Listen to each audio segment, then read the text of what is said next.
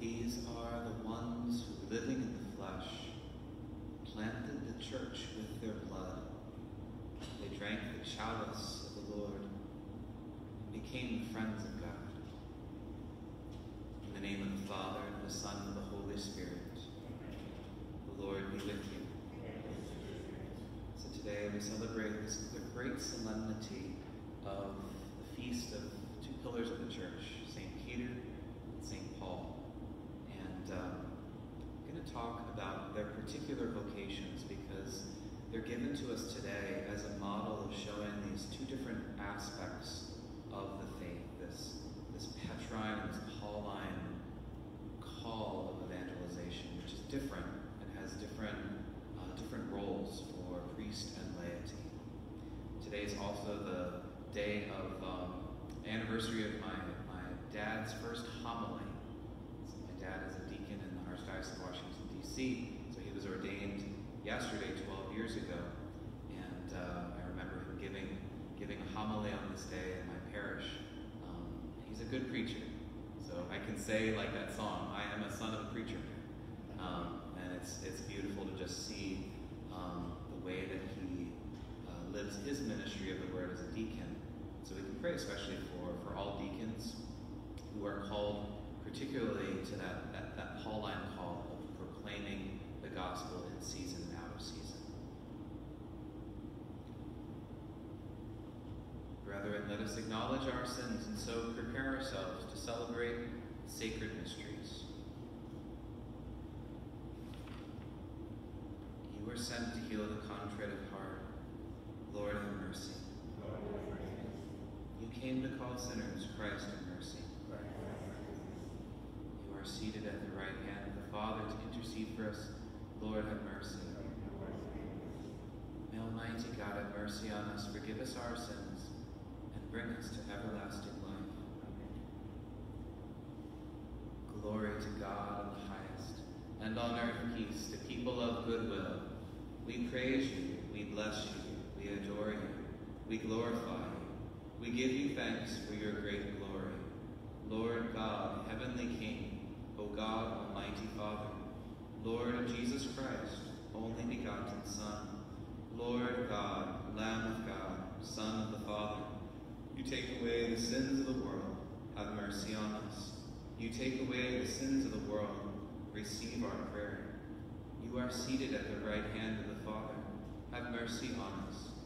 For you alone are the Holy One. You alone are the Lord. You alone are the Most High, Jesus Christ, with the Holy Spirit, in the glory of God the Father. Amen. Let us pray.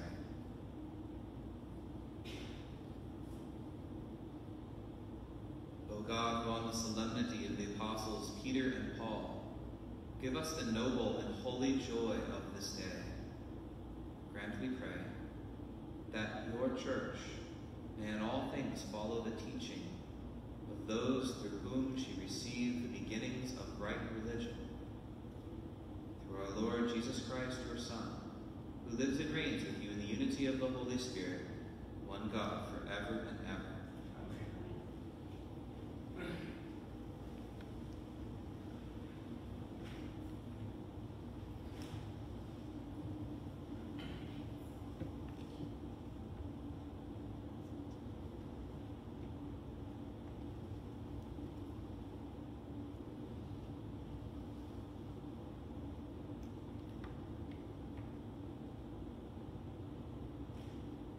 A reading from the Act of the Apostles.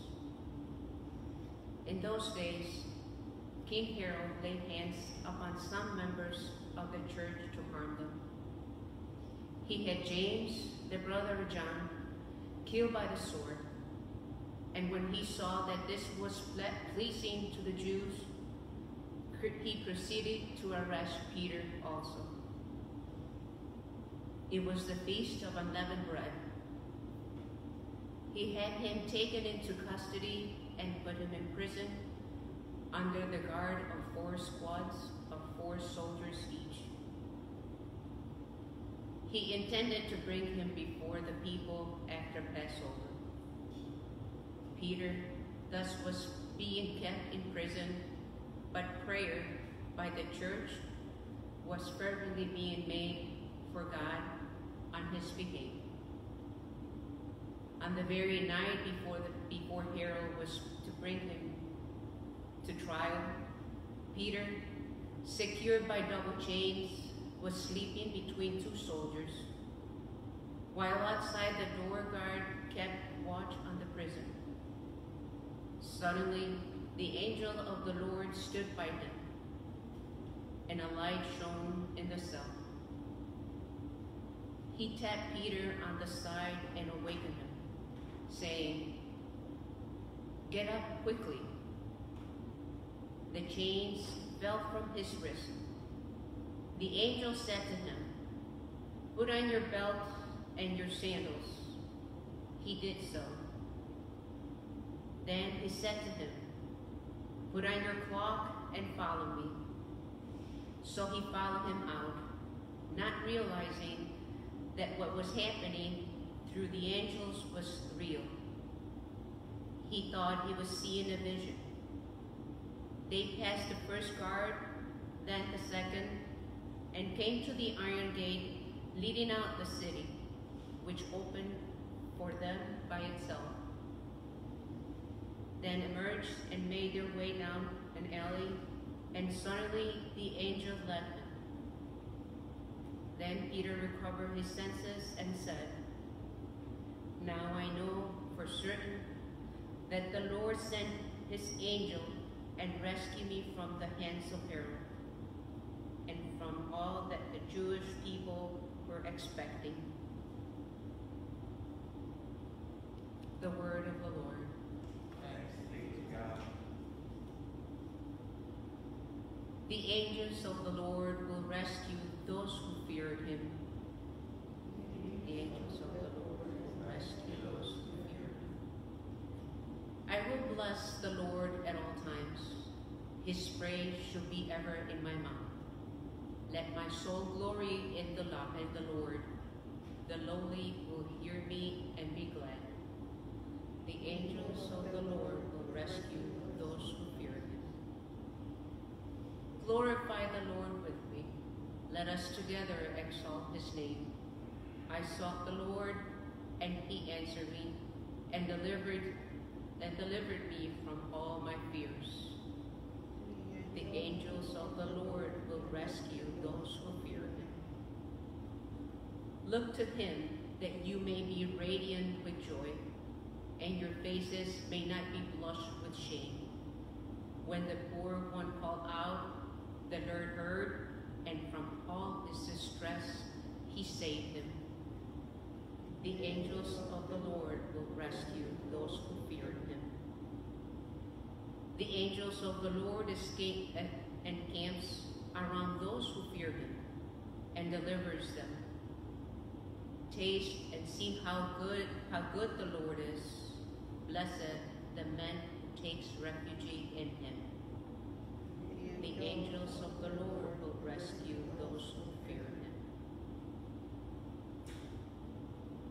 A reading from the second letter of St. Paul to Timothy. I, Paul, am, am already being poured out like a libation, and the time of my departure is at hand. I have competed well. I have finished the race. I have kept my faith. From now on, the crown of righteousness awaits me, which the Lord, the just judge, will aware, award, the, award to me on that day. And not only to me, but to all who have launched for his appearance. The Lord stood by me and gave me this, gave me strength, so that through me the proclamation might be completed, and all the Gentiles might hear it. And I was rescued from the lion's mouth. The Lord will rescue, rescue me from every evil threat, and will bring me safe to his heavenly kingdom. To him the glory forever and ever. Amen. The word of the Lord.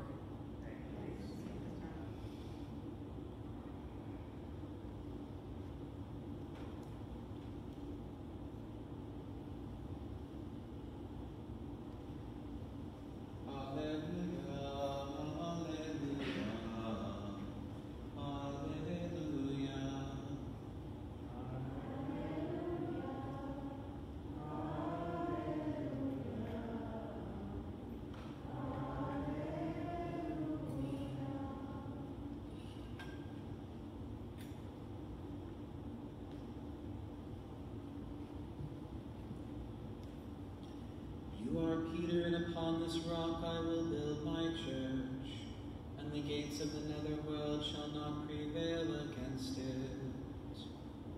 Alleluia. Alleluia. Alleluia. The Lord be with you.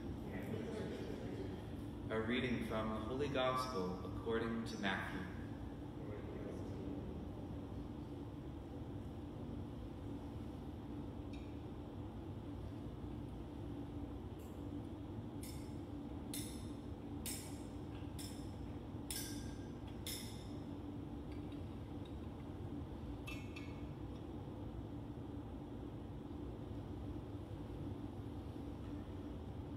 When Jesus went into the region of Caesarea Philippi, he asked his disciples, Who do people say that the Son of Man is? They replied, Some say John the Baptist, others Elijah, still others Jeremiah or one of the prophets. He said to them, But who do you say that I am? Simon Peter said in reply, You are the Christ Son of the living God. Jesus said to him in reply, Blessed are you, Simon, son of Jonah, for flesh and blood has not revealed this to you, but my heavenly Father. So I say to you, you are Peter, and upon this rock I will build my church, and the gates of the netherworld shall not prevail against it. I will give you the keys to the kingdom of heaven. Whatever you bind on earth shall be bound in heaven, and whatever you loose on earth shall be loosed in heaven. The Gospel of the Lord.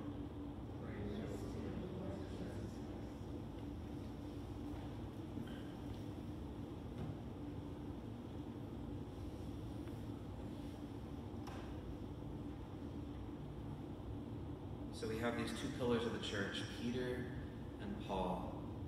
And the Lord gives us this not as a feast day, but as a solemnity because of how important they are. The very importance of Rome is because these two men found themselves in Rome, preached the gospel there in their final days, and died there. And because their blood was spilled there, that's where, in a sense, that call of Peter and Paul start and go out to the world. Peter, we see especially in that call of uh, the Holy Father, which we see that institution in our gospel today, in which the Lord changes Peter's name. Says, Yes, you are Simon, but I will call you Peter. Peter, which means rock. And that word rock is it's little rock built on the big rock.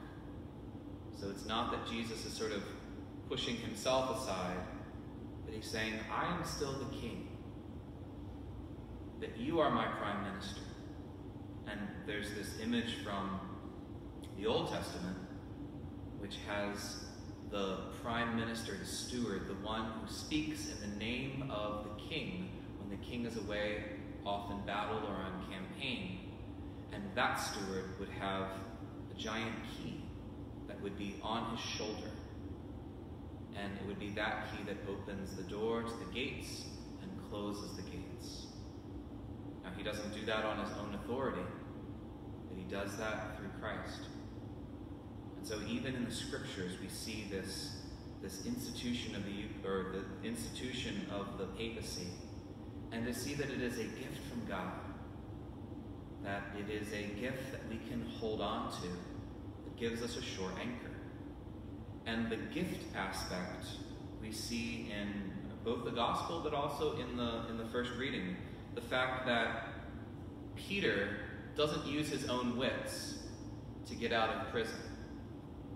If you notice the whole time he's just kind of in a dream. He doesn't really even know what's going on. And it's only after he gets out that it says he comes to his senses and he says, Wow, the angel of the Lord helped me through this. And there's a sign in that where the Lord wants to remind us that what the Lord does to the papacy is not necessarily dependent on just the human ability of that man or even the personal holiness of that man. If, if we think about human or just the history of the church, we know that in the midst of the, the, the papal office, there are many saints and sinners.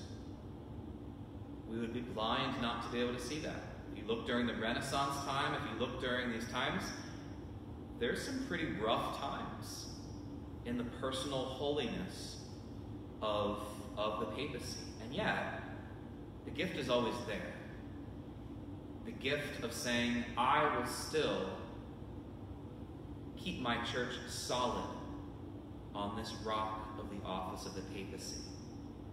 And that's why we have to be very, very careful in the midst of a time in which I think we see this in social media sometimes. We go too far. And even sometimes different criticisms of our current Holy Father, even Cardinal Sarah, who has mentioned, you know, he maybe has some differences in maybe ways of going about things, and yet he says to speak in this way against the Holy Father is to be outside of the church. And so he has this beautiful intention there of saying, yes, we can work like Peter and Paul, where there are some times where even Paul is called to, um, to speak to Peter if you remember that part in Galatians in which Peter has to has to grow in that, you know, in that particular witness.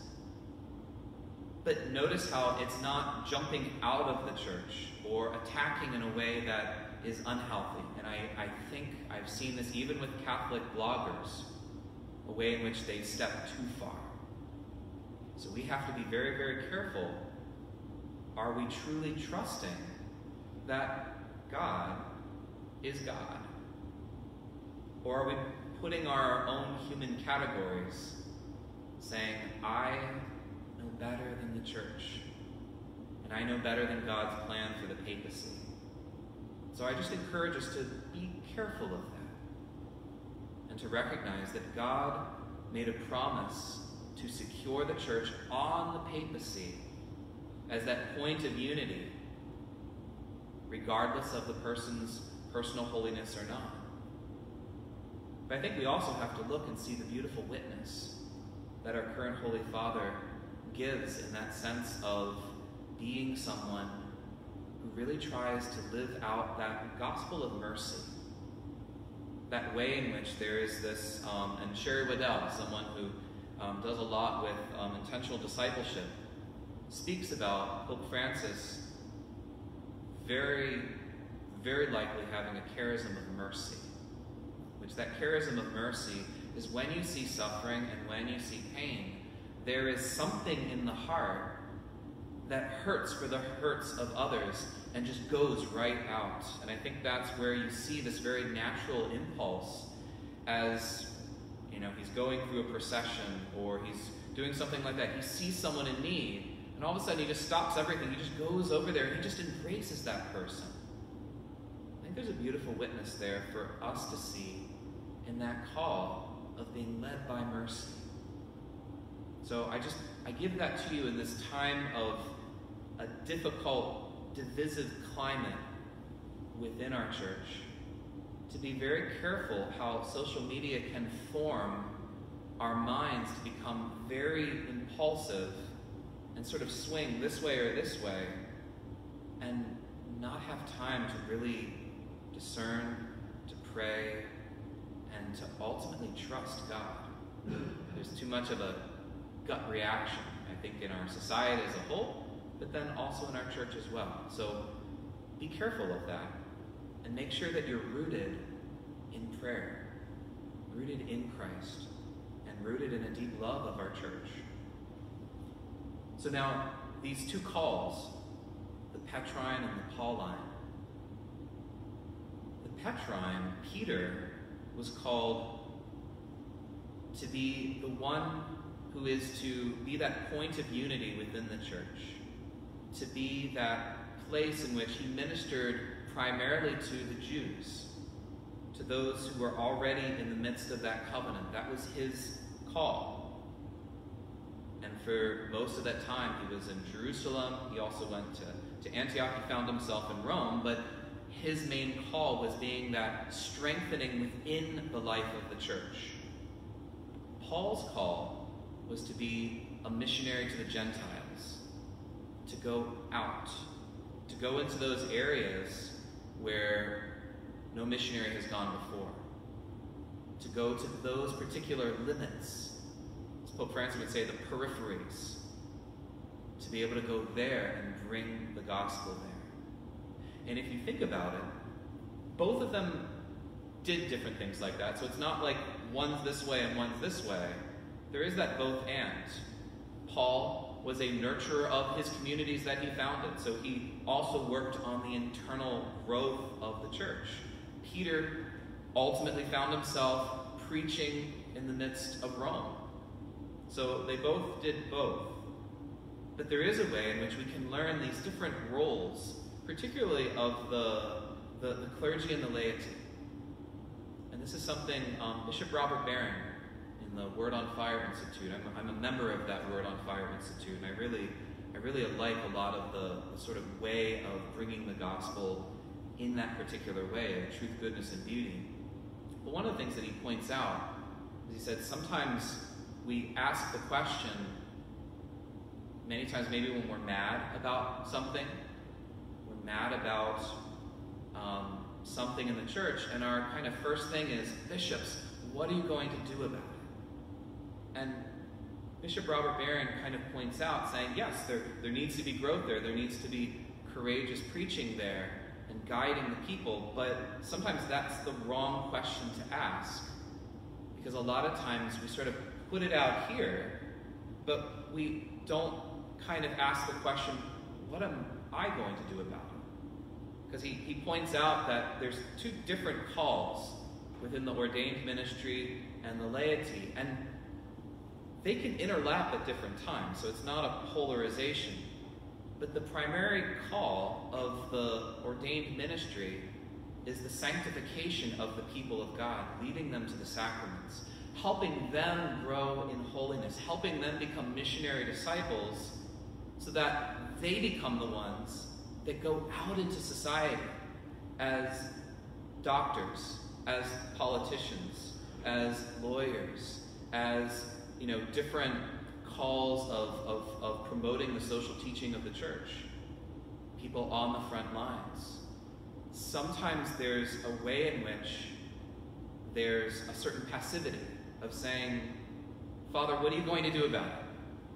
And that's actually a recipe of disaster because then you sort of send the one priest out or the one bishop out to, in a sense, be leaven for the world, and they collapse. Or they're not very effective. Because in many ways, they might not have the expertises that many of the laity have for particular spheres of influence. And so it's, it's important to see that call of really kind of going deep into the heart and saying, Lord, you have entrusted me with different experiences, different education, different strengths, different charisms. How am I called to be fed here? How am I called to be nurtured by the ordained ministry so that I can go out? So that I can go to those places like St. Paul, those places that the priest could never get into in the same way that you can. This is actually the call of Vatican II. Vatican II was not to set laity versus clergy or clergy versus laity. It was to say there are different calls, different roles. But if we truly learn, if the priesthood truly learned how to live this out, you know, and sometimes I would say, as priests, sometimes we struggle with that. We can become more the Toastmaster versus the one who leads people into a deep worship and encounter with the sacraments. So that's something that we need to pray for is the overall holiness and purification of the priesthood to really fall in love with the sacraments on such a deep way, to fall in love with the hunger to give God's mercy in confession, to fall in love with the Lord on their knees in adoration. So we need to pray for that, but we also need to pray for the mobilization of the, the laity to be able to not be afraid, but to say, The Lord has filled me with His Spirit, and I'm fed here, but I'm called to go out there and be the, the hands and feet of Christ in the midst of society. Wherever the Lord has called you, whether that's in the arts, whether that's in the media, whether that's in law and state and all these different things, we need to have Catholics who are properly formed. I think one of the problems that we've had in the past is we've had maybe Catholics going out into some of those areas, especially the political sphere, and not being properly formed, and it becomes a disaster and a horrible witness. We need to be fed here, nourished here by the teaching of the church, and then empowered to go out. Peter and Paul working together. So ask the Lord, how am I called to be Paul going out?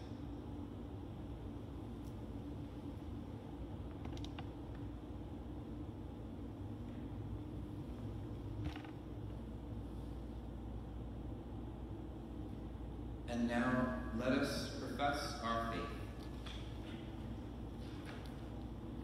I believe in one God, the Father Almighty, maker of heaven and earth, of all things visible and invisible.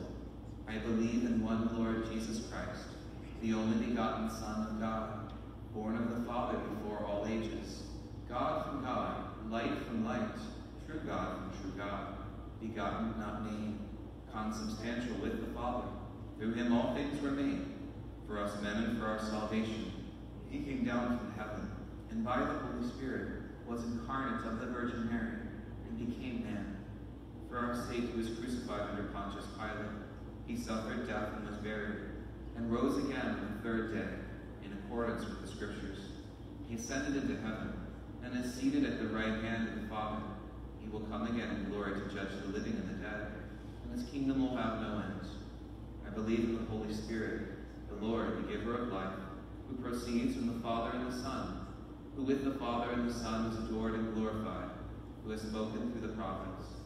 I believe in one holy Catholic and Apostolic Church. I confess one baptism for the forgiveness of sins, and I look forward to the resurrection of the dead, and the life of the world to come. Amen. As we celebrate the great apostles Peter and Paul, we come forward as church to offer prayers to our Heavenly Father. For our Pope, successor to Peter, may the Lord continue to protect and preserve him as he leads our holy church. Let us praise the Lord. For world leaders, may the Holy Spirit grant them fortitude in their work for peace and justice. Let us praise the Lord. For all who are persecuted for the sake of the gospel, may they receive the strength, courage, and grace that they need. Let us praise the Lord. For all who worship here this day, may the light of Christ illumine any darkness we carry and guide us in our daily lives. Let us praise the Lord. For our faithful departed, may they receive the crown of righteousness in the eternal kingdom. Pray especially for the repose of the soul of Tim McCullough, for whom I've been asked to offer this Mass. Let us pray to the Lord. Pray for all the intentions within Our Lady's intercessory box. We pray also that through the intercession of Saints Peter and Paul, that we might be able to go deep within our vocation to bring Christ into those those spheres of our society and bring leaven there. Full of grace, the Lord is with thee. Blessed art thou among women, and blessed is the fruit of thy womb, Jesus. Holy Mary, Mother of God, pray for us sinners, now and at the hour of our death. Amen.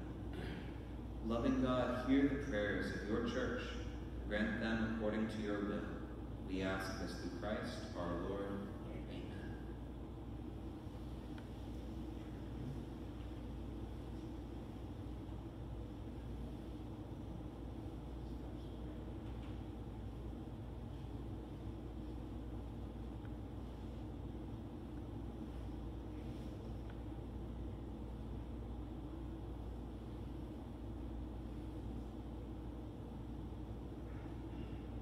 Blessed are you, Lord God of all creation, for through your goodness we have received the bread we offer you, fruit of the earth and work of human hands, it will become for us the bread of life.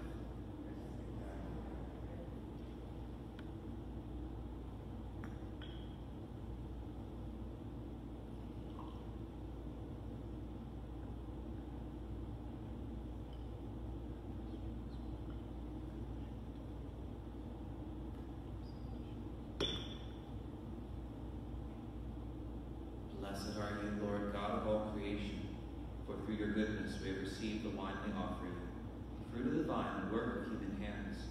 that will become our spiritual drink.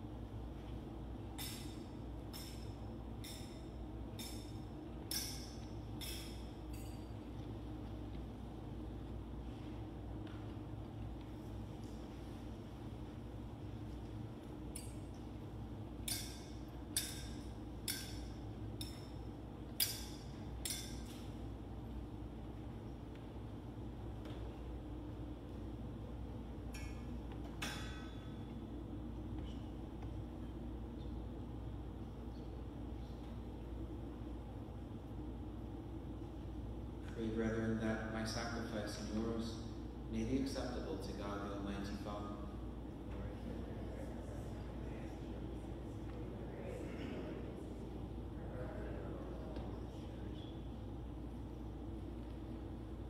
May the prayer of the apostles, O Lord, accompany the sacrificial gift that we present to your name for consecration. That they, that, and may their intercession make us devoted to you in celebration of the sacrifice. Through Christ our Lord. The Lord be with you. Lift up your hearts. Let us give thanks to the Lord our God. It is truly right and just, our duty and our salvation, always and everywhere to give you thanks. Lord, Holy Father, Almighty and Eternal God, for by your providence the blessed apostles Peter and Paul bring us joy. Peter foremost in confessing faith, Paul its outstanding preacher, Peter who established the early church from the remnant of Israel, Paul, master and teacher of the Gentiles that you call. And so each in a different way gathered together the one family of Christ, and revered together throughout the world, they share one martyr's crown. And therefore, with all the angels and saints, we praise you, as without end we acclaim. Sanctus, Sanctus,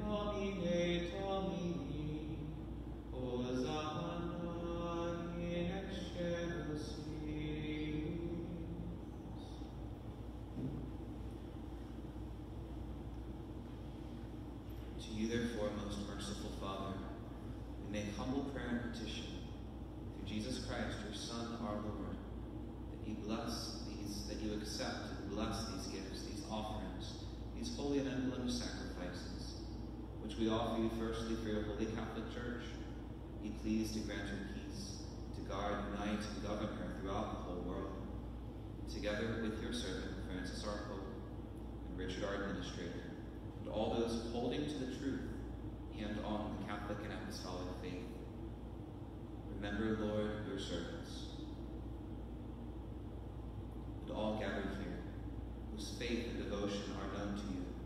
For them we offer you this sacrifice of praise, for they offer it for themselves and all who are dear to them, for the redemption of their souls, in hope of health and well-being, and paying their homage to you, the eternal God, living and true in communion with those whose memory we venerate, especially the glorious ever Virgin Mary, Mother of our God and Lord Jesus Christ, blessed Joseph, her spouse, your blessed apostles and martyrs, Peter and Paul, Andrew, and all your saints. We ask that through their merits and prayers, in all things we may be defended by your protecting help. Therefore, Lord, we pray, graciously accept this oblation of our service, that of your whole family. Order our days in your peace, and command that we be delivered from eternal damnation, counted among the flock of those you have chosen. Be pleased, O God, we pray, to bless, acknowledge, and approve this offering in every respect. Make it spiritual and acceptable, so that it may become for us body and blood of your most beloved Son, our Lord Jesus Christ. On the day before he was to suffer, he took bread in his holy and venerable hands, and with eyes raised to heaven, to you, O God, as Almighty Father, giving you thanks, he said the blessing, broke the bread, and gave it to his disciples, saying, Take this, all of you, and eat of it, for this is my body, which will be given up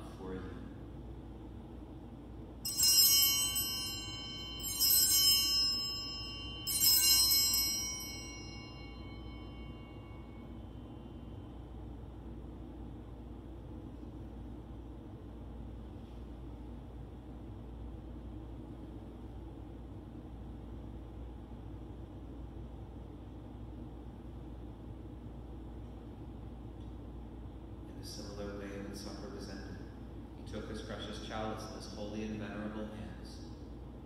And once more, giving you thanks, he said the blessing, gave the chalice to his disciples, saying, Take this, all of you, and drink from it. For this is the chalice of my blood, the blood of the new and eternal covenant, which will be poured out for you and for many, for the forgiveness of sins. Do this in memory of me.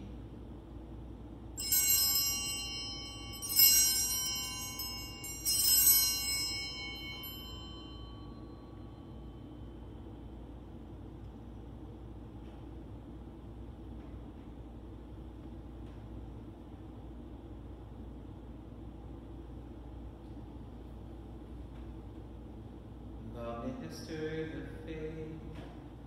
We proclaim your death, O Lord, and profess your resurrection until you come again. Therefore, as we celebrate, therefore, Lord, as we celebrate the memorial of the blessed Passion, the resurrection from the dead, and the glorious ascension into heaven of Christ, your Son, our Lord, we, your servants and your holy people, offer to your glorious majesty from the gifts that you have given us, this pure victim, this holy victim, this spotless victim, the holy bread of eternal life and the chalice of everlasting salvation.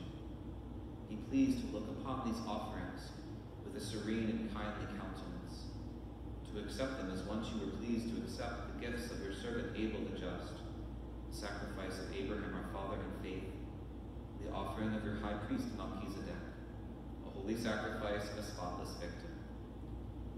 Humble prayer we ask you, Almighty God, command that these gifts be borne by the hands of your holy angel to your altar on high, in the sight of your divine majesty, so that all of us who through this participation at the altar receive the most holy body and blood of your Son, may be filled with every grace and heavenly blessing. Remember also, Lord, your servants, who have gone before us with the sign of faith, and rest in the sleep of peace. Grant them, O Lord, we pray, and all who sleep in Christ, place of refreshment, light, and peace. To us also, your servants, who those sinners, hope in your abundant mercies, graciously grant some share of fellowship with your holy apostles and martyrs, with John the Baptist, Stephen, Matthias, Barnabas, and all your saints. Admit us, we beseech you, into their company, not weighing our merits, but granting us your pardon. Through Christ our Lord, through whom you continue to make all these good things, O Lord. You sanctify them, fill them with life, bless them, and bestow them upon us. Through him and with him and in him, O God, Almighty Father, in the unity of the Holy Spirit, all glory and honor is yours, forever and ever.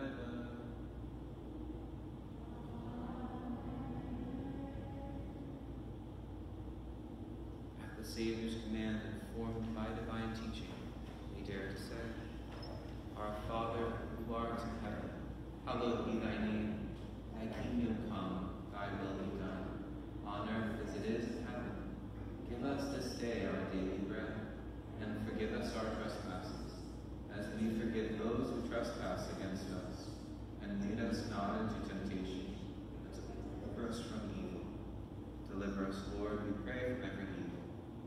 Graciously grant peace in our days, that by the help of your mercy we may be always free from sin and safe from all distress, as we wait with blessed hope the coming of our Savior, Jesus Christ.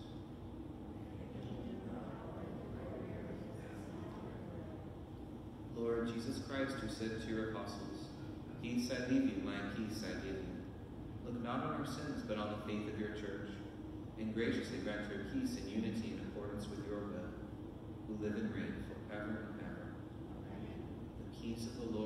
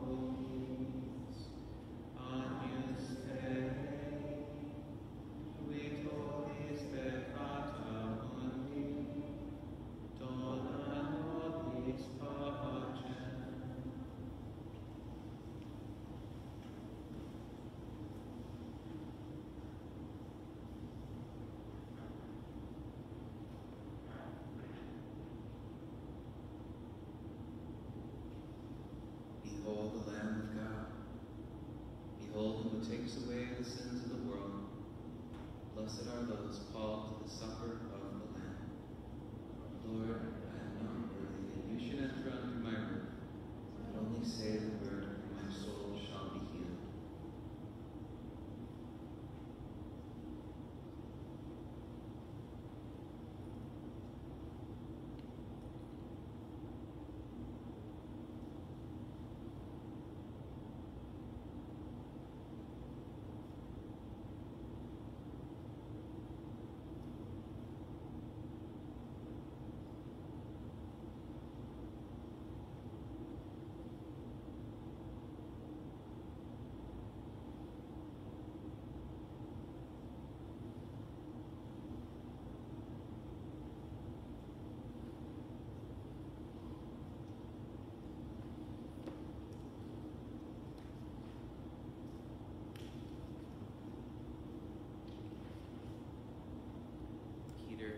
Peter, Said to Jesus, You are the Christ, the Son of the living God.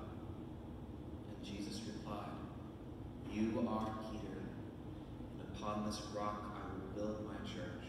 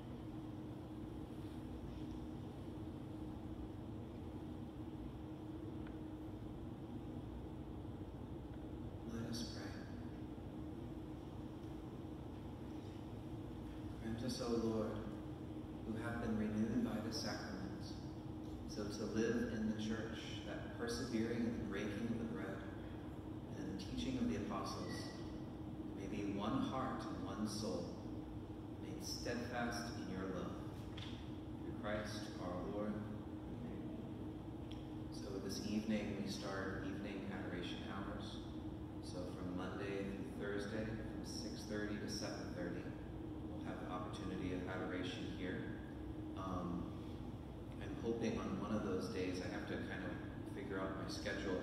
Um, possibly Tuesday, I can be available for evening confessions as well, because not everyone's able to come, um, you know, right after right after Mass at this time. So I'll, I'll let you know more about that. But um, uh, I encourage you to just come before the Lord, allow the Lord to just feed you with His Eucharistic grace and mercy, because all that does really prepare your heart to become more and more that which you receive, the very body and blood of our Lord. The Lord be with you. And may Almighty God bless you, the Father and the Son and the Holy Spirit. Go and announce the gospel of the Lord.